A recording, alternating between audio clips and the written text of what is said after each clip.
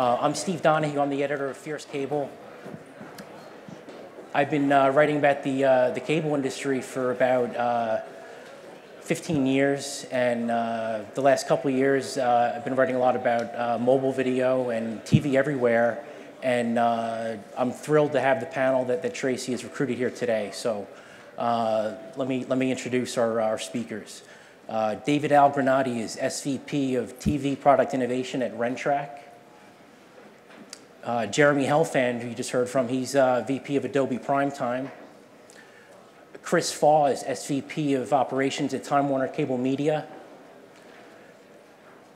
Matt Strauss is SVP and General Manager of Video Services at Comcast. Sherry Brennan is SVP of Sales, Strategy, and Development at Fox Networks. And Mark Garner is uh, SVP of Business Development, Analytics, and Distribution Marketing at A&E Networks.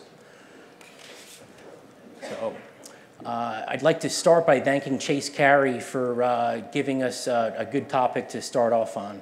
Um, Chase spoke at a UBS uh, conference yesterday, uh, and he talked about uh, rising programming costs and how TV Everywhere could help programmers drive increased, collect increased license fees and, and also add more value for the consumer.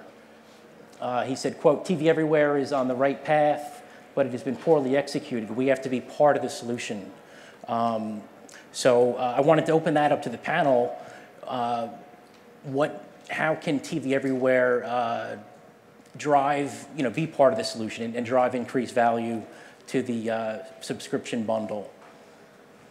Well, I'll start since and, my boss who said that. And this is uh, one of the ways that Sherry is, is increasing the value of the bundle with some Fox oh, yeah. TV everywhere has. That was me personally okay. too, just so you know. Okay. Um, no, but first of all, if you go back to that slide, I just have to point out yes. a couple things. Mm-hmm. It's 21st Century Fox, not 20th. Just okay. so everyone knows, yes. we changed our name. Okay. Um, so Thanks. either that quote was a year ago, or um, or the company name is wrong. Typo. But I yes. think this Thank is you. a really great way to start because what we've always what we've thought at Fox for a long time, what I thought when I was at Cablevision and before, is that the pay TV uh, proposition, the economic proposition, is still a, a, fabulous value. And I'm pretty sure those stats that uh, Chase quoted were put together by John Choi, who's here somewhere, who works in my team. Um, and we've done a lot of work uh, looking at relative value, and I think it doesn't get like there's a lot of talk about programming costs being high and um, people not having a lot of disposable income and things like that. And those may all be true.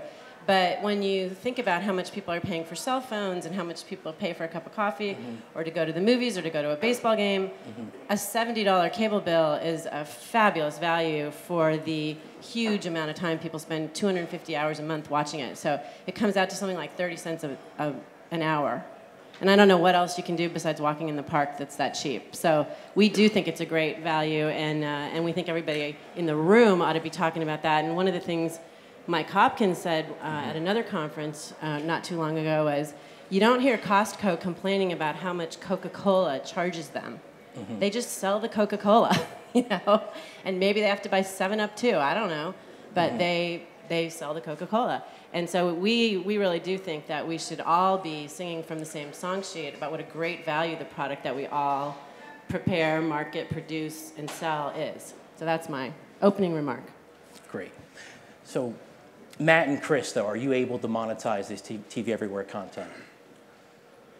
I'll, I'll take a stab. Um, you know, one of the ways we do create value is certainly there's a subscription model, but there's also an advertising model, and, and that's very much what I'm involved with at Time Warner. So we have to make TV everywhere as functional as the linear model was in the old traditional linear cable TV space. And that means making advertising uh, available not only to the, to the programmer, but to the local uh, folks who need to sell that. And the interesting thing about TV everywhere is you can actually make that more powerful. You can make that more relevant to the, the consumer. Um, it's measurable. Uh, it's certainly more functional. It's more complicated, I'll tell you, on the operations side. But there's, there's a lot more runway and a lot more possibility in the TV everywhere model, and, and that's what gets us excited and gets us coming in every day. So that hasn't been defined yet, exactly how we're going to share in that advertising model and how we're going to work together with the programmers. But I think it, it goes a long way to help paying that. That's the reason the 30 cents is probably not 40 or 50 cents, is because there is an advertising model. And there is an understanding from the consumer that, you know, nothing is free, and if I can, you know, sit through a couple of relevant messages and still get my program, that's, uh, that's even, even better value. Um, you know, TV Everywhere is actually, if you kind of take a step back, it's part of a much broader strategy. It's one facet of our strategy, which is very simply, uh, as Jeremy said, you know, give our customers what they want when they want it. And you can almost trace it back, you know, to, um, to the earlier days of on-demand. It's very similar when we launched on-demand 10 years ago. Mm-hmm. It was giving customers the ability to access the content they paid for, but it was primarily about adding value. Um, you know, at the time, the industry was very focused on pay-per-view and um, and transactional movies. We looked at on-demand as an opportunity to add more value to the bundle and give customers the ability to watch what they want when they want it. If you look at TV Everywhere, it's really just a component of that same strategy, you know, which is now extending the content experience not just on the TV, but effectively untethering it and letting customers access it where they want when they want it. And that was part of the principles when we developed TV Everywhere um, several years ago. But for anything to be successful, you know, you always want to start with the customer, but it also has to work for every party involved. There's rights, there's monetization that has to happen, there's measurement that has to happen, um, there's awareness. So all these pieces need to be put in place to have, you know, kind of an effective execution of this.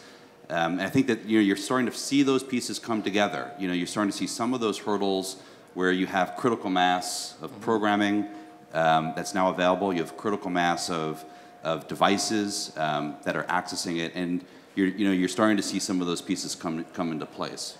Um, so Comcast struck a, a, a unique deal with uh, Disney last year. Uh, it's a multi-platform carriage deal, and and Fox, and Fox. That's right, and Fox. So, uh, so I, I, have the uh, the Watch ABC app up on the screen, uh, and uh, so this, this deal that Comcast struck allows it to offer uh, live linear programming from uh, Fox O&Os uh, on iPads and other mobile devices, and uh, you're able to uh, deliver targeted advertising. Um, other broadcasters uh, are, are, pursuing other options. You know, CBS is you know, working with Dyle, uh, you know, the, the carriage deals they've done don't uh, offer those types of uh, targeted advertising or, or, they're not working with operators the way that uh, ABC is. Is this the model that broadcasters should be pursuing uh, in terms of authentic, authentication and working with operators like Time Warner and Comcast? I just think, yeah, I think the broadcasters all have slightly different strategies with um, with this, but I think everyone's intention is to make their content available this way. So when you talk about Dyle, for example, Fox is one of the owners of Dyle, NBC is involved with Dyle. So that's not, uh, those aren't mutually exclusive, mm-hmm. right? This kind of an arrangement, I think CBS's strategy is a little different because they don't have the same cable network portfolio. ABC puts a lot of eggs in the ESPN basket, obviously, so mm-hmm. monetization may be sort of spread a little bit differently um, than when you look at like a CBS, where they probably are monetizing platform by platform, I think. So I think it's just different ways to get to the same solution, and I, and I do think over time it will converge to a less confusing consumer proposition, because I think it has to. Great. There doesn't seem to be uh, a lot of consistency, though, in terms of uh, the approach that each broadcaster network is taking. Is that, is that something that the industry needs? Uh, Jeremy, do you have any thoughts on that in terms of uh, should uh, cable programmers and broadcasters have uh, you know, similar interfaces, similar approaches to TV everywhere? Yeah, man. I think I think the expectation from the consumer perspective is that it's gonna it's gonna work like TV. You know, you go to a store, you buy a TV, you go home, you plug it in, and all your content's there. As a consumer today, you have to be concerned whether or not the content you want is supported on an iOS device versus an Android device, smartphone versus tablet. Can I get it on my Xbox? And I think ultimately, um, I think it goes back to the value discussion earlier that the the experience needs to be consistent for the consumer to really take advantage of it. Because you know, I know I know my 13-year-old daughter. She gets frustrated when she has a hard time finding the content she wants when she she knows it's available somewhere. And so, you know, I, I do think there's an expectation from the consumer that discovery becomes easier, that, you know, the, the easier you make it, as I was saying earlier, easier you make it for the consumer to get access to the content and it's cons- and consistently uh, there, you know, the more they're going to consume. And that's, that's the great opportunity for what we're talking about is, you know, we're talking about total media consumption growing. And so there, you know, not only is there a great consumer opportunity here, but there's a great business opportunity because the, you know, you know, the rising tide is affecting all the boats. And so that's, you know, that's the opportunity here. And there might also be some rights that are unexploited today. Mm-hmm. So I think MVPDs are gathering rights. And if you have to, I mean, Matt, you could probably speak better than me to this, but if you don't have a critical mass of rights as a pay TV operator, you're not going to launch, like, you know, maybe they've got CBS, they're not going to launch only CBS. So mm-hmm. I do think it's, it's taking too long. Of, cour- of course, I would agree with that, but, but I do think it's a sort of iterative, and over time, it, I think the models will converge. Mark? Yeah, I, I'd also like to comment. I think the consumers want a consistent experience, but I think that those of us in the ecosystem want a consistent experience also. I, have to tell you, it amazes me that I can go from, or anybody can go from one uh, uh, discussion uh, between parties to another discussion between parties and find such vast differences in the approach to technology and the approach to monetization and the approach to the presentation of content. And you know, the question becomes, well, why can't we get our act together? You know, we, we've got these entities like Cable Labs for technology. We've got these entities like CTAM for marketing.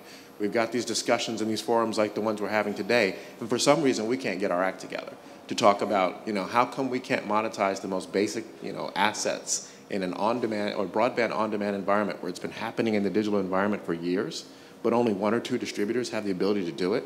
That just blows my mind. Yet there's an absolute demand for this content in every negotiation to be presented in such a way, but there's no consideration given to, um, you know, the, the, the things that we all say are important: monetization, presentation, the network effect. So, uh, a little contrarian here. So, so Mark, I, I think you said two things that were very important. One is the monetization model, because somebody's got to pay for all this. And, and the second thing was the ecosystem, the, the sort of the back room, how do you bring it all together? And uh, I think some of that is starting to happen because what we're seeing at Time Warner as we're, we're putting these disparate platforms and, and devices together, they're starting to look more alike. So, uh, and more alike than they are different and, and the way they used to be. So uh, whether it's an ESPN Watch app that we're serving or whether it's our own TV Everywhere application that we're serving and whether we're working with a, a network partner or doing it all with our own content, we're starting to see some similarities in terms of reporting or how we get the uh, actual advertising out there, uh, how we split the avails, um, how we talk to each other, how we go to market with that, how we put it together. Um, so it's a little confusing right now, um, but uh, it's less confusing this year than it would have been last year. And I can tell you that the progress that we've made uh, has actually given me great hope. I, I would have been a little more confused last year on this panel than I am now based on the work that we've done and the learnings that we've done. And that's with programmers and with our own technology as far as serving the ads and getting that ecosystem right. So uh, it's not all here right this second, but hang on, it's coming. Uh, and, and it will be uh, even sharper as, as the days You know, unfold. um, you know, just one other, you know, we, um, we look at it maybe a little bit uniquely. We're, we're not trying to actually determine what the right model is when it comes to advertising. I think you're going to see a lot of experimentation from programmers, and there very well may be certain platforms that lend themselves to different types of advertising models, formats, maybe even different monetization models. You know, we just want to provide the tools. So we want to allow, if the customer wants it to be, if the customer to us being the programmer in some respects wants to use C3, we want to make sure we support Nielsen. If the customer, the programmers want to um, use dynamic ad insertion, we want to have dynamic ad insertion deployed across all of our platforms. If they want it to be addressable or mm-hmm. interactive, we want to have those capabilities. So we've been very focused on creating the tools to allow the programmers to determine what's the best way to monetize their content and to ensure that the ecosystem grows. And our hope mm-hmm. is that this isn't proprietary. We're not trying to create even proprietary technology. It's really to try to create some best practices that we can then use to standardize some of these models. And ultimately, the industry will level set on what are the right tactics and the right integration. But I think you're seeing a lot of experimentation, which to me is, is good because ultimately it will get us to the result of, of where ultimately the industry wants to get to. So speaking of experimentation, we've, uh, we've seen, uh, I don't know, if anyone familiar with Penthera Partners? So Uh, Michael Willner, the former CEO of Insight, uh, founded Penthera, and uh, they're working with companies like Comcast, I believe, to uh, offer uh, download to go content. And uh, I'm hearing a lot about expanded basic networks uh, looking to uh, offer subscribers the ability to download content and have uh, advertising uh, downloaded to the, those devices as well. So um, I just wanted to, to get uh, your take on uh, this approach.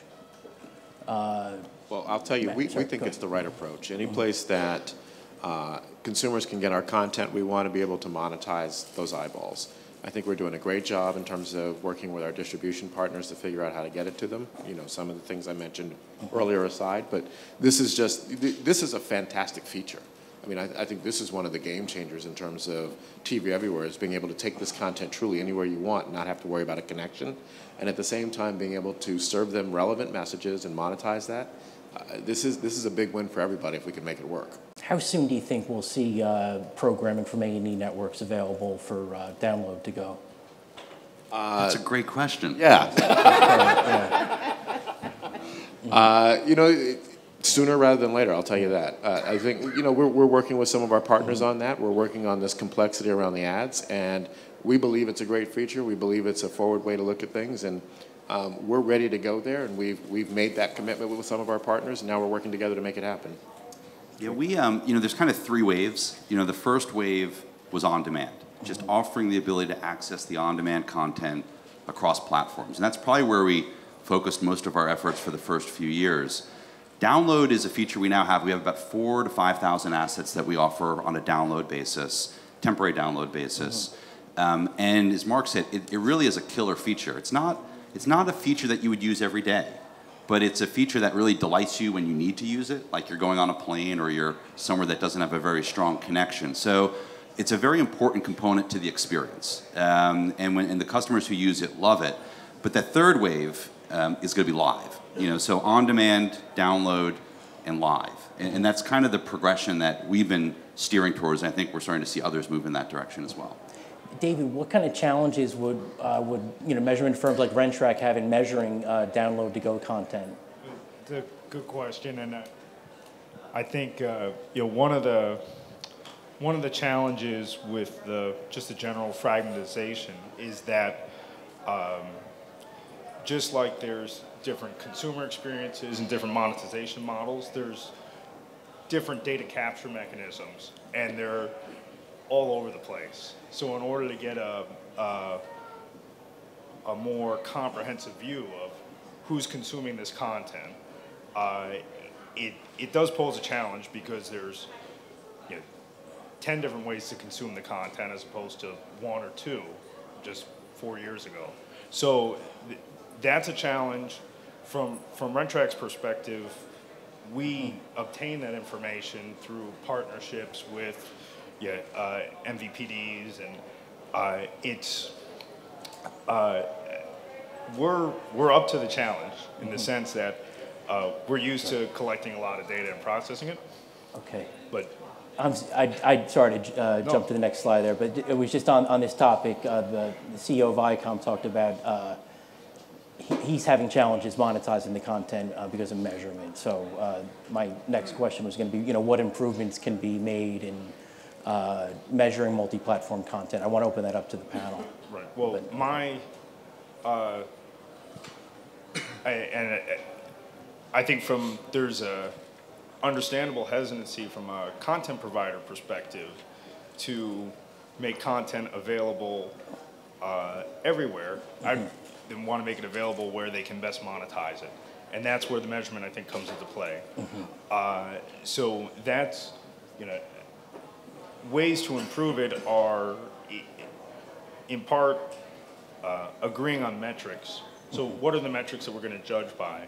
So you know, Matt had mentioned, oh, well, if, uh, if you want, if you're interested in C3, we can use Nielsen. If you're interested in addressable, we can do this. But that, uh, I'm not sure that that's a sustainable model in terms of everyone choosing their own standard by which their buy is going to be judged, right? Uh, and maybe that's, I don't want to put words in your Okay. mouth, but Um, Mark, Sherry, thoughts on uh, how can we improve measurement?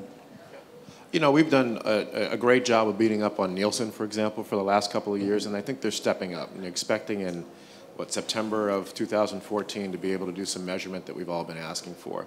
Now it's our turn to step up and do what's necessary. So things like tagging our, our content with ID3, things like uh, the develop both the the programmers and the distributors um, uh, executing the SDKs that are necessary to be able to read these things. It's now our turn to step up, you know, and give them the opportunity to do it. We can all sit here and bash the measurements and systems and everything, but I think they're, they're stepping up, and now we have to put those things into place and uh, communicate those very well out to the buying marketplace as well as to how this is going to work, how it all comes together, how it works separately. Um, so we've got an education to do as well as some operationalization to do. And I, think uh, the unique thing about this type of advertising, it is a connection. There's a one-to-one connection, and if we don't take advantage of the technology that's available, then shame on us. And you think about the challenge that we gave Nielsen and Rentrak and, and some of these others years ago, which was we're just going to throw it out there and sample a few boxes and see what comes back. Um, we now have it within our wheelhouse to take care of that because we know who's connected, when they authenticated, how long they watched, um, and then we know something about them. And we also have the chance for them to have some interactivity along with that. So if we don't get it right, shame on us. I, I think we, we certainly have it within our functional, technical capability to do it. So, I, I just also, I want to applaud Matt and his team and his company for actually stepping up and listening to the content providers also. I think many of you probably read the articles last week about ODC3. I think that those who have really listened are trying to find creative ways to deliver value in this on-demand and these new environments. And I think now, instead of sort of sitting around and waiting to see how it plays out, we just have to jump in. We, we got to just jump in and start doing it. um, you'd mentioned authentication, and, and, Jeremy, you talked about authentication uh, in your presentation as well. Uh, I have a slide of uh, social login authentication that uh, Synacor launched and a small cable operator named Midcontinent, Midcontinent is using. Uh, and my, my question is, what other uh, new approaches to authentication uh, should the industry be taking a look at? You know, as, as many of you know, Adobe Pass is you know, essentially de facto standard for authentication because most content programmers and MVPDs use it today. Um, and we do a number of things around free preview and social login and, and things like that, single sign-on. Um, but at the end of the day, the thing that is going to get us where we need to be is we need to remove the consumer from the authentication process ultimately. You know, mm -hmm. it should happen behind the scenes, but we've got to develop ways in which we don't have to be involved as a consumer in providing username and password information in order to get mm-hmm. access to that content. And, and in those instances where that's been tested and used, auto authentication around the Olympics, things like that, um, you know, Matt will tell you, they, they saw great results from it. So, yeah. um, you know, ultimately we, we've got to get the consumer out of that mm-hmm. process. So we're at yeah, the. I've actually sorry. thought for a couple years that um, there should be a way to pair a device with a set-top box, mm-hmm. so that the set the set-top box could tell the device what it's approved for. Mm-hmm. And I don't know why that hasn't happened because it seems like you could very easily tell the consumer, go sit in your living room and turn on your TV yeah. and, and, and wait until your app, you know, flashes at you and you're authenticated. And as long as you do that, you know, once a week or something, you stay authenticated. And then you have to limit the number of devices that can be paired to a set-top box or an account. But I think if you could do that and let, let the set-top box tell the device what it's approved for, then that would sort of auto enter all the credentials and you wouldn't have to have all this this friction that we have right now. But you there know, must be something hard about that because it hasn't happened. uh, well, you know, authentication, yeah. there's a lot of discussion around authentication. There's a couple of ways to look at it. Um, when you look at Facebook or Twitter or Instagram, every one of those services require a username and, and password. Um, and they wouldn't exist without, without it. So authentication isn't necessarily the problem. But what we've got to do is make it easier. Um, and we've got to do a better job of communicating the value of why you should even go through the process of being authenticated. Mm -hmm and by the way, we shouldn't even call it authentication because no one even knows what that means, uh, at least not a consumer. So we've kind of approached it two different ways. Um, we haven't done exactly what Sherry's described, but I think we've come close, mm -hmm. which is um, based on what we did with the Olympics. We extended that same technology where if you're in your home mm -hmm. and you're an, a high-speed data sub and you're a video sub, which the vast majority of our customers are double play subs, we auto-authenticate you in the home. So you don't have to type in a username. You don't have to type in a password. You can just go, for example, to xfinitytv.com. We call it Home Pass.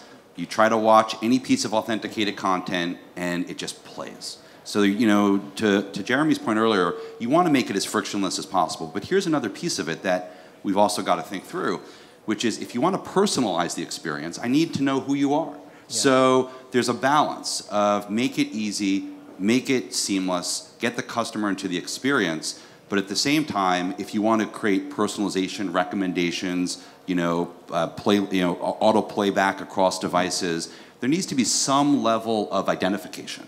Um, I think that that's kind of the balance, balancing act that we are kind of um, we're kind of trying to navigate through. But going to this point forward, um, I think auto authentication has been a huge step forward for us, and it's one that you know we hope other distributors will also embrace. So. I I mean, there, there, there is a lot of discussion to, to Mark's point earlier around standards. I mean, that TV everywhere and that process, I think, was an early indi- you know, indication of what you can do when you create a standard that the entire industry uses. And while we need to remove the consumer from the process, still get the credentials so that yeah. you can personalize the experience, but remove, you, it, it opens up the opportunity for the entire industry. The OATC and the work that's continuing to go on is really important there. Um, you know, we participate, a number of programmers participate in that to make sure that we do take, off, you know, that verification process to the next level. Great. Uh, so Sherry talked about pairing devices. Uh, I've written a lot the last several months about uh, near field communication and the idea of uh, tapping a, uh, a phone to a set top or um, Matt, Brian Roberts at the cable show showed a new remote control. Um, I was wondering, you know, will that remote contain a, an NFC chip that a Comcast subscriber could use to uh, tap to his iPad or an iPhone or a connected TV and authenticate uh, that way? And could you also tap, um, could you also use that to uh, personalize content where, you know, if my son uh, taps his uh, phone to the set top, uh, he, he would get a personalized program guide? Um, so, so yes, I mean, in the future, mm-hmm. yes. I mean, re- really, where we're, where we're heading is, you know, if you think about something like the DVR, um, you know, DVRs are about 50% penetration. But if you look at 18 to 49 year olds who have DVRs, it's probably closer to 70% penetration of those devices. The DVR is a very basic technology, um, but they're very people who have it are very passionate. Very low churn rate on a DVR. Why? It doesn't have everything. It just has what you want. So um, that that level of personalization is ultimately where you're going to see TV everywhere and TV generally start to move, which is don't show me all the choices, just show me the things that I want to see and in a very seamless, personalized way, whether it's live, on demand, or DVR, those lines are going to start to get blurred. When you start to remove some of the friction out of the process, like auto authentication, you then start to move towards things like you're describing, which is, well, if I know, if you're in the living room and you have your phone and you have credentials on that phone, I should be able to know who you are in a way that I can start to personalize that experience, whether it's my 10 year old or whether it's, it's me. And that's kind of the next evolution of some of the development that we're currently looking at doing. Okay, great. Um, Jeremy, do you look at that? Are there any, uh, you know, could you give us a, a, a, look at any next generation approaches that Adobe might look at? Would it include NFC? How about biometric devices? Uh, could I uh, authenticate uh, through a pacemaker eventually? You know, what's interesting is where, when you think about where we are in the evolution of television, I mean, with um, with Adobe Primetime, what we've been focused on, what we've heard in the industry is, you know, I, I, need to be able to reach my audience across devices so I can get scale. I need to be able to um, monetize those experiences. And then it is, how do I personalize and, and, optimize that so I find the right balance between content and monetization. And that, that first element around reaching consumers across all devices is the one that the, the industry over the last, I would say, 12 months has really been um, focused on is how do I just make sure I can get to my audiences because that's been a real struggle. And you know what we what we see in the business is you know for every time you stand up a new device, you have to find a way to get there. And so being able to standardize, to be able to deliver across all devices, becomes is really important. Just as you know, you plug in your television and it works. Same thing happens to ha have, has to happen with devices. The stat I showed earlier around tablets didn't exist three and a half years ago 50% of all TV everywhere, more than 50% of all TV everywhere content is now consumed on a tablet. So being able to more easily get onto those devices is, is paramount in order to be able to deliver on the, the promise of TV everywhere. Okay, great. Um, I write a lot about Glenn Britt, uh, the CEO of Time Warner Cable. He's actually retiring in a couple weeks, but uh, he talks a lot about the four N's, delivering any content, anytime, any place, on any device. Um, could you uh, could you talk about you know what what devices are generating the most uh, usage in terms of uh, TV everywhere content? Um, Matt, I, or Chris, please. Yeah, I, I mean, I can tell you, and, and this may be shocking to this room, but the big TV in the middle of the living room is the one that's generating the most buzz right now. I was going to say the set-top box too. So yeah, yeah. exactly. Um, and, and we recognize that, and, and here's what we're seeing. I mean, they, they spend time with the set-top box and what you know what you talked about with the DVR. It's killer technology, uh, even though it's old and legacy, and it, but it, it works. It's it's great aggregation of content. Discovery is easy. I can lean back and I can I can move around. So we're seeing that folks spend about five hours a day with that big screen. Now, what we are seeing is there are more devices that are coming into the room, and there's second screen and they're snacking. And, and the way it works is they move down. Uh, you know, you, you said tablets because it's a little bit bigger. And if you're really desperate and you're in a bus stop somewhere and you want to watch, you'll watch on your Android and we'll serve it to you for 20 minutes. So, you know, the best thing on TV right now is still TV. That's where our, our consumers are, and they watch on the, on the big screen. Um, but as they move through the living room or they have somebody else in there, they're on those other devices, and we recognize that. And then when we talk about things uh, like taking content on the go, we have to go with those consumers. So um, the, the same way uh, Glenn has uh, talked about making the content available to anybody, anywhere, anytime, any device, we're still working on the monetization model to make sure that we can monetize any device, anytime, anywhere, with any consumer. And the good news about that is those ads become more relevant. They become more relevant to the programmer, the consumer, uh, and to us as a provider. If, if I'm not the guy who's going to buy a $99 a month car, you don't need to keep serving me that ad. You know, the, uh, and that's not what we want to do. That's not the experience we want to create. And that's the great thing about these new devices. We don't have to do that. If, if you are eligible for the American Express green card, we're going to send you the green card. If you're the gold card, we're going to send you the gold card. So um, it, it really works all the way around. Um, but, but you ask, you know, which device? It's still the big screen. It's five hours a day, uh, which is amazing to me because somebody else has got to be watching more TV than I'm watching to make it average up to five hours. But we're glad they're there.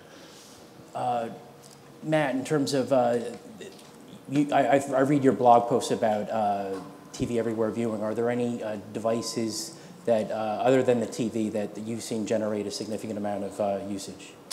Well, you know, it- it's interesting because when we when we developed TV Everywhere a few years ago, the tablet didn't exist. We were thinking PCs. It just shows you how you can't always predict what's going to happen in the future.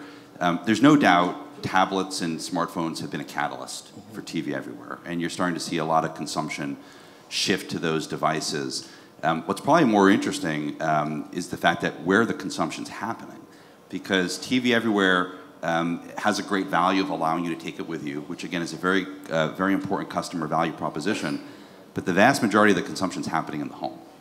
So um, you know that may change over time, but if you see the consumption happening in the home, and there's kind of that saying, people will default to the best screen available in the home, um, and there's a lot of um, you know depending on your demographic, they don't even distinguish between those devices. So you know certainly if you're a younger demo like my kids, they're, they're very happy to watch on a tablet, uh, while my wife and I will take the big screen. Um, I think that you're, you're starting to see that. So then it starts to kind of lead into other types of discussion, uh, explorations of development, which is if a lot of the consumption's happening in the home, what does that then mean around the experiences you want to start creating around those? And those are the things that we start to think about. Um, and a lot of the viewing is happening in some cases while you're watching another screen. But I think we didn't expect that. You know, when we originally thought of TV everywhere, and we even call our app Xfinity TV Go. Um, and, and you can take it with you anywhere in the country. You know, as long as you're verified, you can go and travel anywhere in the country and, and access your TV content. But it is interesting that it's a lot of it's happening in the home, and there's definitely growth that we're seeing on tablets and smartphones. You know, don't you think that'll, that it'll be interesting to see how that changes as you get more rights for outside the home? Because right now you have vastly more content you can deliver in the home than outside the Yeah, home. there's there's no doubt. You know, we don't have true parity. Um, but if you look at on if you look at our app, um, we've done a pretty good job. We've got about 20,000 assets that we offer on demand, um, and there's parity across a lot of big programmers. Um, we've done deals with a lot of the big programmers: Disney, Fox, Turner, all the premium networks, uh, NBC Universal. So I think we've made significant progress there. A and E, I'm sorry, A and E, of course. Uh, I just, you know, They were first, I- right? You know what? I- forgot them because they were Yeah. first. the- no, the problem was I was trying to watch them on the plane. I couldn't download the content, so I. Uh, So, I don't think Xfinity has TV content for download yet. Um, but but but but to, to, but yes, Sherry's point. You know, as we we just launched live TV a few weeks ago, where you can now stream 35 networks live, and there's no doubt that could change. That could change the paradigm with live TV and sports and news, where you start to see growing consumption happen out of the home more. okay, I was Sherry. going to, I was going to say, I mean, that is what's interesting about, it's not, you know, the type of content that is being consumed is changing quickly too. I mean, you know, working with Xfinity, Turner, you see, you know, more, it's, you're moving from on-demand content to also live linear content being available on those devices. And so I think that, that pattern of change is, is really interesting too, as more of those services are stood up. Sherry, we, we had talked last week about the uh, opportunities to deliver advertising based on where a uh, subscriber is located. Um, Could you, could you tell me about your thoughts on that? Could you, uh, I, I think you brought up the example of uh, if someone is, uh, you know, a, a soccer mom is watching a, uh, Oh, I know what I phone, said. yeah, yeah. Yeah. So I was saying that to me, um, where a person is and the time of day Mm-hmm. is more important in terms of what ad you want to deliver to them than knowing if they have a dog or a cat or Mm-hmm. you know, four year old or a 10 year old.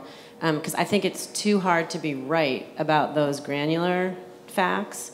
But you can know that somebody's at a sporting field at 10 o'clock in the morning, which probably means they're watching their kid's game, which probably means they're going to have a bunch of hungry mm-hmm. kids at noon, and so maybe you want to send them a pizza ad right then. That was the example I was using. Or that if you know someone's in New York and there's a snowstorm coming, it would be a good idea to send them an ad for snow tires or a mm-hmm. shovel, as opposed to, or, or flights to Florida, as opposed to sending them, you know, some ad for a, an above ground swimming pool.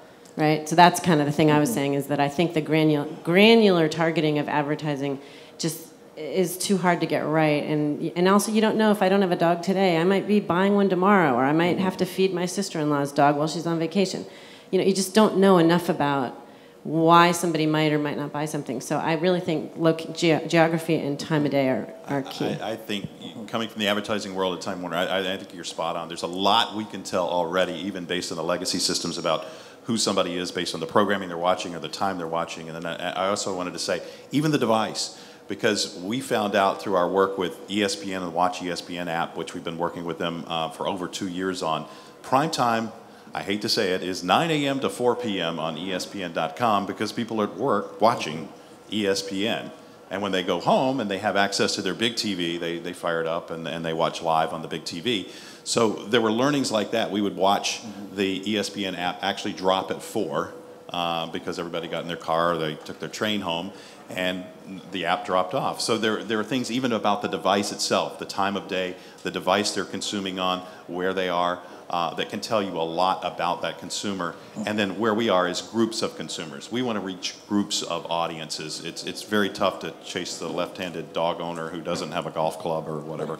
But uh, it, you, if you can put together a meaningful group of advertisers and consumers and, and then market that, that works for everybody. Let's take a look at the uh, history app. I don't. Can we play this video? That'd be great. And unfortunately, we don't have the audio, but uh, there we go.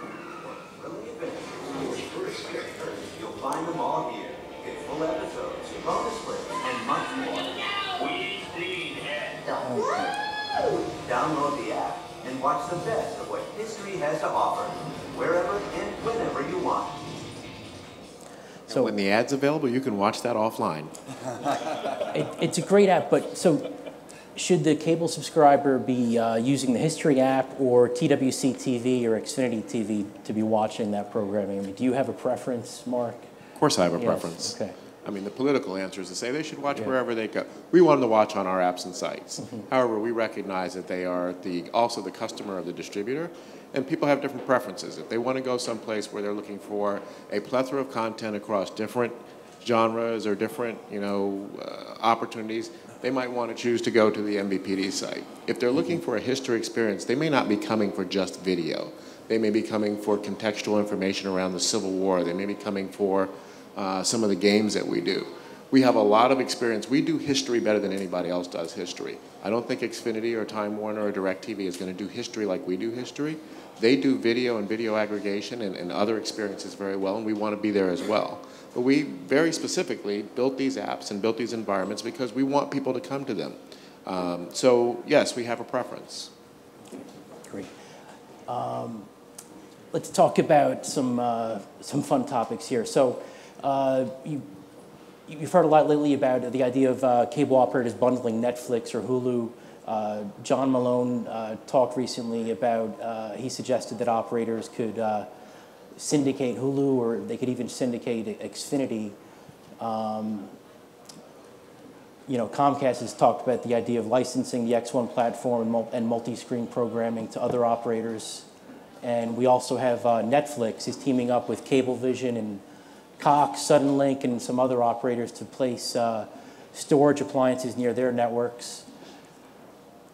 And uh, my, my, question is, I mean, should, should cable operators be teaming up with uh, Netflix or Hulu uh, or even Xfinity to uh, offer multi-screen programming to their subscribers. Um, yes. I would open that up. Yes. Okay. Sherry. Okay. No, I mean, I think yeah. obviously that was part of why Fox and ABC didn't sell Hulu was because we thought there was an opportunity there, and I mm-hmm. think that um, as as Mark was saying, we like our network sites and apps, and the pay TV guys like their sites and apps. Um, but we recognize that Hulu is a really good aggregator as well and a good brand and a great place that people like to go to watch video content. So if you can sort of marry all that up together, I think you have a really good value proposition for the consumer. And I also think there's some sort of new media cachet that a brand like Hulu brings to uh, a brand like Comcast mm-hmm. or even Xfinity because it feels to you know consumers like a new thing and, and like sort of the cutting edge. And i think that that perception would be really valuable to a pay tv provider. You know there's something really interesting that's that's happening um, with on demand and it's it's interesting because on demand usage for us on the set top box had kind of hit a plateau a few years ago. About 70% of our subs use on demand every month um, we just had our 30 billionth program viewed on demand since we launched the platform, um, and, and our customers use it. And about two years ago, we started to notice a trend that was happening. It was right, right after the Olympics, actually, where TV started to grow. Um, and it's been growing ever since. We're almost hitting an inflationary period where we're seeing 30 to 40% growth in TV viewing on demand than what we saw in the prior year. And I think there's a couple of things that are happening. One is we've done a lot more at creating more consistency. So we now have almost all the top shows available on demand, um, and they're available with, you know, customers know that they'll be there when they go to on demand, which I think was a challenge in the past. And they're there on a timely basis, and we've moved from just offering four to five episodes at a time to full season.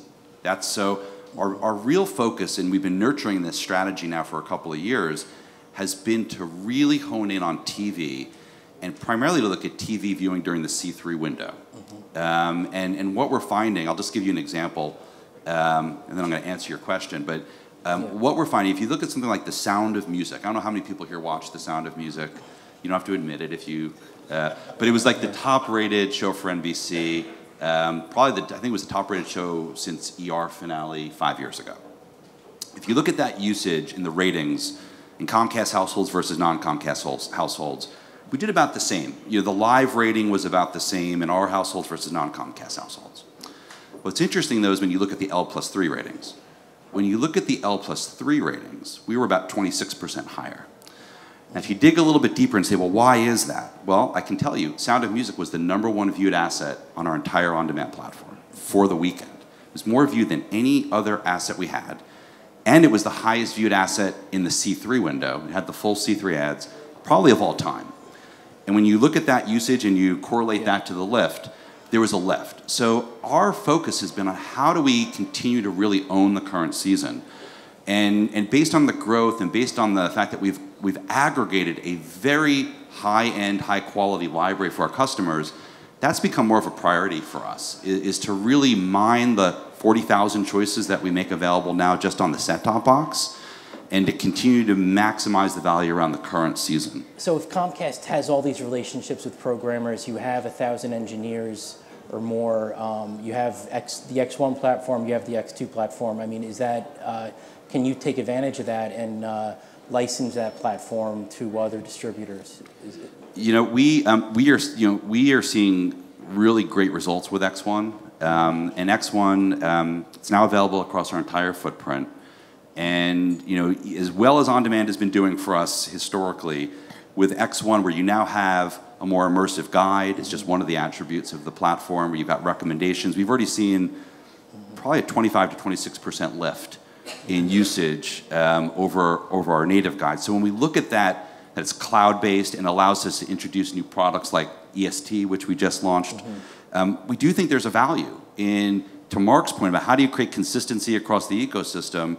I do, you know, what we're learning with X1 and the development in the cloud-based guide and infrastructure, we do think could have value with other pay TV operators that, um, you know, that could help create more of that seamless experience, you know, not just regionally, but nationally.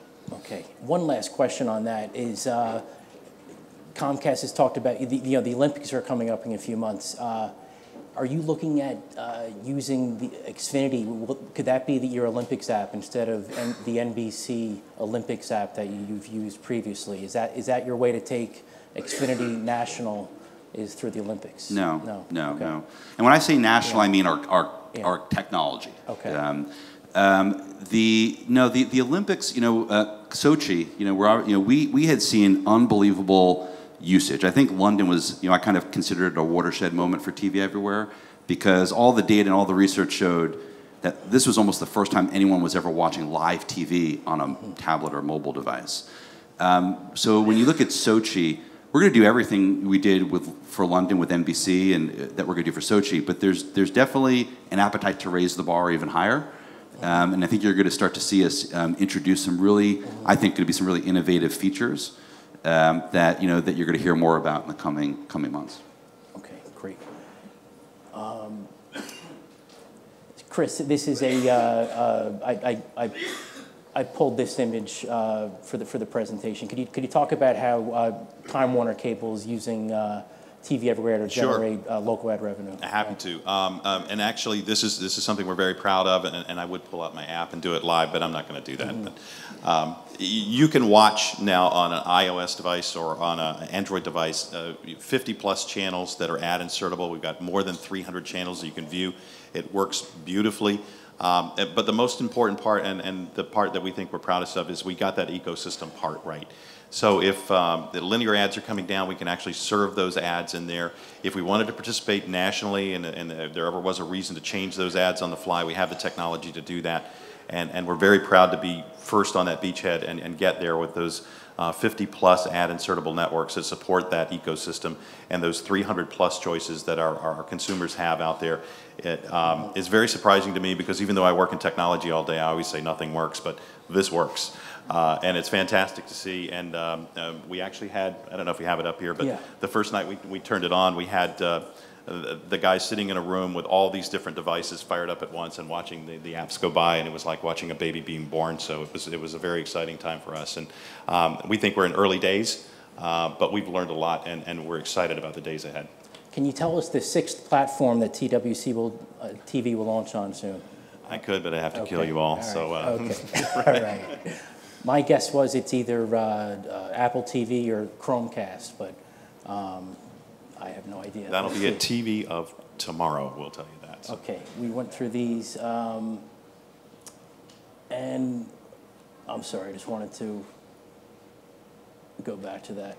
The, the last, one of the last slides I had, uh, we're actually uh, almost out of time, so I just wanted to ask one last question um, for the panels. You know, where do you see TV everywhere five years from now?